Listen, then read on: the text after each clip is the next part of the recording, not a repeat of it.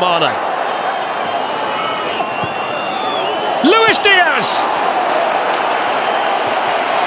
Went for the scissor kick.